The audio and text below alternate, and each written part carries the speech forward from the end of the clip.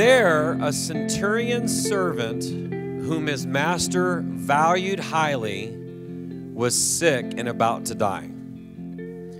The centurion heard of Jesus and sent some elders of the Jews to him, asking him to come and heal his servant. He was not far from the house when the centurion sent friends to say to him, Watch this now, Lord, don't trouble yourself.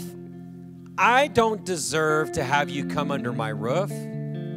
That is not why I did not even consider myself worthy to come to you, but say the word, and my servant will be healed.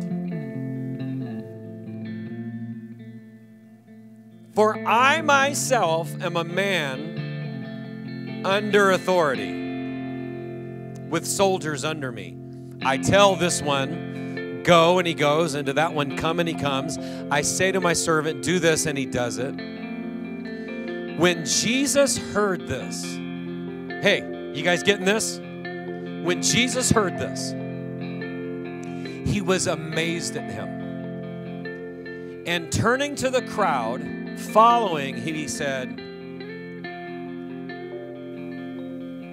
I tell you, I have not found such great faith in all of Israel.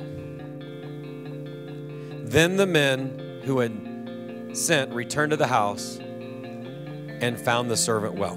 Now, the Roman centurion recognized that Jesus was the one who had authority in the spiritual realm just as he had authority in the military realm. The centurion's like, Listen, Jesus, I get it. I tell the Roman soldiers where to go, and they go because I'm under authority and I have authority over them. And I can see that you have authority over everything. So just speak the word, and my servant will be healed.